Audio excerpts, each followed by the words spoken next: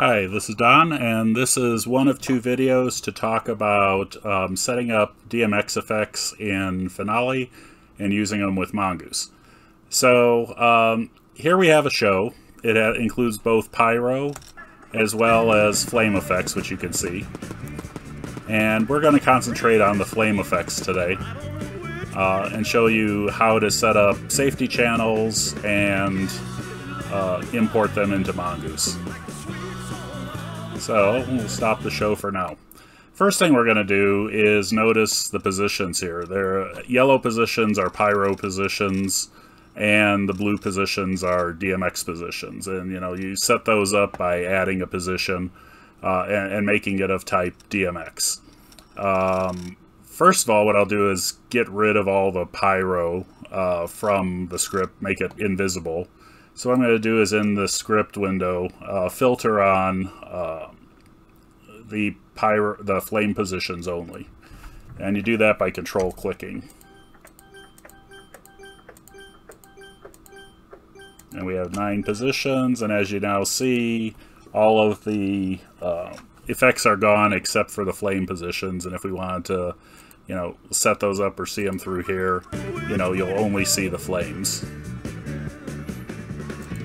So, some notes about uh, the pyro positions. Um, when you set them up, they each have position properties. It's a type of DMX fixture. It's going to be the Mongoose, uh, Mongoose, either 2x24 shot or 48 shot with DMX. Um, and in this case, um, you don't really have to worry about most of these. Um, I put it into Universe 2. This show is actually a hybrid show with a Starfire script in Universe 1 and all the Mongoose stuff in Universe 2. And there's a difference between DMX universes and the regular universe. So the regular universe lets you use multiple firing systems in one show. The DMX universe is ultimately what's going to be defined for um, uh, an individual uh,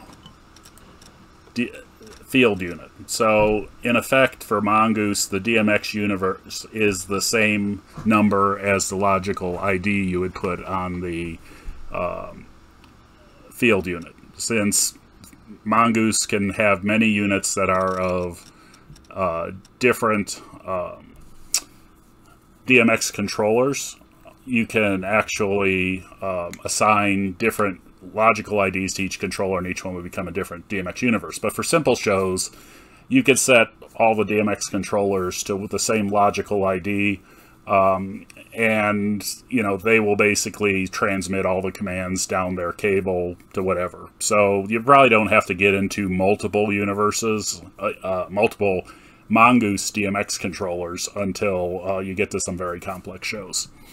But in this case, what I'm going to do is click on one of these. Um, and if you click on multiples, it, it, it, marks these as undefined because they differ between the individual units. But when you set up a DMX fixture, um, the DMX universe will be 2, which when it is exported translates to Mongoose Logical ID 2. You can make that whatever you want. And then you have the base address of the DMX base address of the uh, particular flame unit, uh, and then you pick the fixture type, which then selects the commands available. So here we have a Chauvin Circle Flamer in position 2. We have a Micro Flamer. Again, it's DMX Universe 2, since it'll all be driven by the same cable or multiple um, field units with the same logical ID. Uh, either way works. Uh, really depends on the length of your cable and where all these units are in your show. Uh, this one actually had a DMX base address of one, and it's a microflamer, which only has two channels. Um, the fourth one here is another microflamer. Uh, the third one is a volcano. And this one, again, sits in DMX Universe 2, has a DMX base channel of 40, and, and, and this has five independently controllable heads. Um, so the DMX command set going out to each of these is different, and all you mainly have to do is make sure that given the channels for each unit, the base addresses stay out of each other's way, so you don't have any overlapping within the DMX space. Um, so that kind of gives you um, an overview of how the individual uh, DMX positions are set up, and I'm sure Finale has some videos on, on how to actually set up DMX. But in terms of Mongoose, the DMX universe translates to the logical ID of the DMX controller, and then the base address is the base address of that particular uh, item.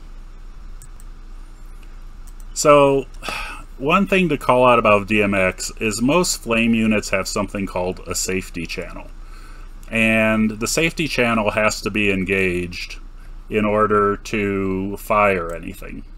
And here we have uh, three circle flamers in the show, and all the safety channels got turned on at the same time for this segment of the show. And, uh, you know, there's uh, one safety channel for the circle flamer for each unit out there. Um, for the four micro flamers out there, there's a safety channel, and for the volcanoes, there's a safety channel. What this is is a specific DMX channel that has to have a certain value in order for the flames to work. It's really kind of a in DMX world, it's not always very reliable communication, and that's just the nature of DMX. Uh, in fact, the DMX spec says it shouldn't be used for pyro, but people are doing it anyway.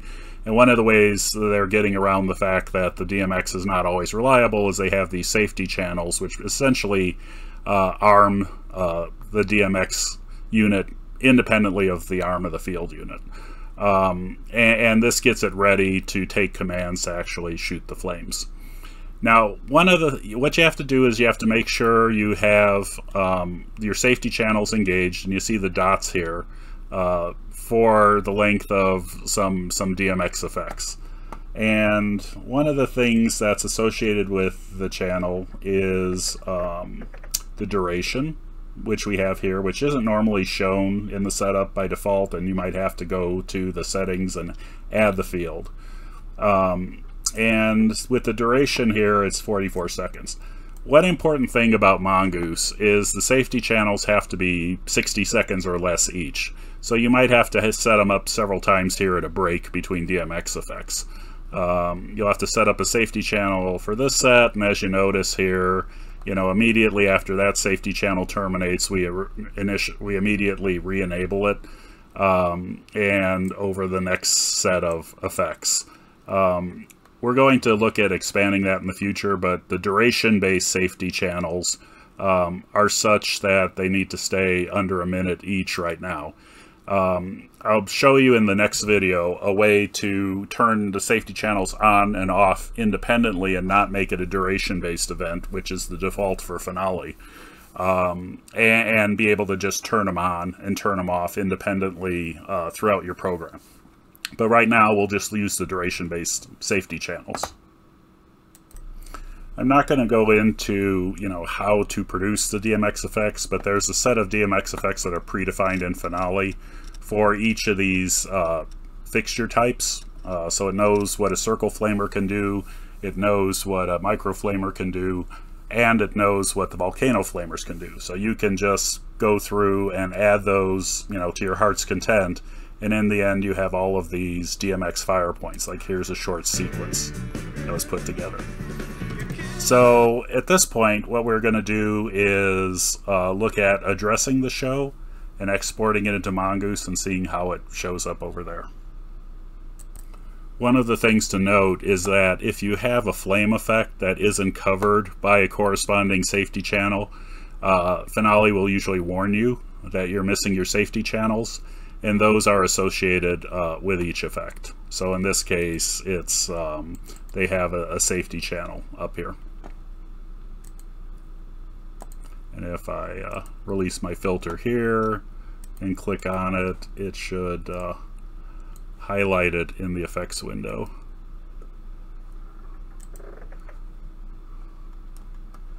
And in this case, you have the very, uh, have the, the safety channels um, and all the various effects you have on the DMX available here. And here's the, the safety channel that it's selected. Um, so this is the DMX effect that sets the safety channel uh, over anything covering it. Since all nine units are used in this segment of the show, they just set the safety channels on all nine, uh, refresh it less than a minute forward, and then complete the segment of the show.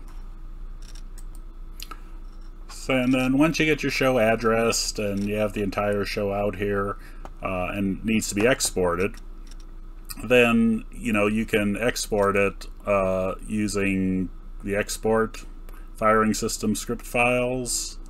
Uh, so export options, it'll ask you about um, Starfire, and it output also a Mongoose. So it's going to take the Starfire script and save it as one file type, and bring out Mongoose as another one. So then we have the Mongoose modules that were driving the DMX as the basic demo show o2.mif and uh, this is the Mongoose interchange format which can then be brought into our editor next and then uh, run within uh, Mongoose. Now that we save the MIF file, we're going to bring up uh, the Mongoose editor. And we're going to do an import from file. And in this case we want to import a mongoose interchange format file from finale. And this is the file that we just output out of finale and it's a basic demo show. Uh, o2 which was the overall universe uh, doesn't have to do with the logical ID this is just the fact that Starfire was 01 within finale and mongoose was 02 so we'll import that. And is this a pyro musical? Well, we're just gonna kind of run it um, directly, so I'll say yes. Um, you could also just slave Mongoose to the Starfire timecode as well, um, using uh, Cronbox, which would then be setting this to external timing. But since I don't have uh, the time code or external timing right now. I'll just run it as a regular Pyro musical show and I'll have the soundtrack uh, in there as well. Um, and what you'll see is that as it imports that, it's going to create a number of things. First is the script with the offset into the script, and most of these are going to be trigger DMX commands. And uh, these will trigger the various DMX commands. You notice we set them all off of field unit ID 2, so they all have an ID of 2 and then it uh, brings up the either the DMX cue or the DMX macro. Um, the multi-cues right now there are none, but again we'll combine those into multi-cues for true simultaneous firing, but right now we have the DMX macros, and these are extracted uh, from the finale output, and these are all the unique combinations of uh, basically scenes in there that um, have are tied to channels. So for example, the safety channel, you saw it was 44 seconds in finale. It's going to show up here as taking channel 6 to the value of 125, which is the arming value, and then 44 seconds later taking it back down to 0.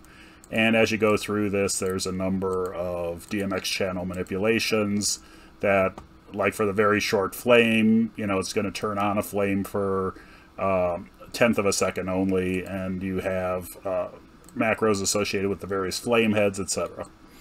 So the other thing you can do here is then to make sure that true simultaneity, simultaneity occurs is do what you do with any normal pyro file, is group in the multi-cues. And then we do the grouping here, and what you'll see is a lot of these that fire multiple flames at once are now tied together into individual multi-cues. Uh, like this one's going to fire nine uh, DMX triggers at a time and you'll see the multi-cues are now populated. So actually, the, the 9 actually has to do with turning on all of the safety channels simultaneously. Then we have very long flames on, on, on some things. And what it has done now is taken all the things that happen together and grouped them into multi-cues so that the DMX channels on the DMX line are all going to change simultaneously. Um, and what you're seeing in a lot of these is they're going to invoke multiple DMX macros at once and, and, and go for the allotted time. So if we expand the multi-cue, you'll see that I'm going to fire three different circle flamers at once. One of the circle flamers at address 10, another circle flamer is address 20, another circle flamer is address 30. So all three of those are basically going to get the exact same program. Uh, fired together, but since there are three different base addresses, the, the flames will go simultaneously. Um, and so this is really what you need to do to take a standard DMX component within uh, Finale and get it transferred to Mongoose. In this case, I'll save the file. And I'll say basic demo show 02 with already converted to multi-cues. And just save that out there. And then I can exit this. Then I can bring up Mongoose and now go over to open my show. And what I'll do is uh, go over to my desktop here, the demo vid, and bring in the Fire file I just created.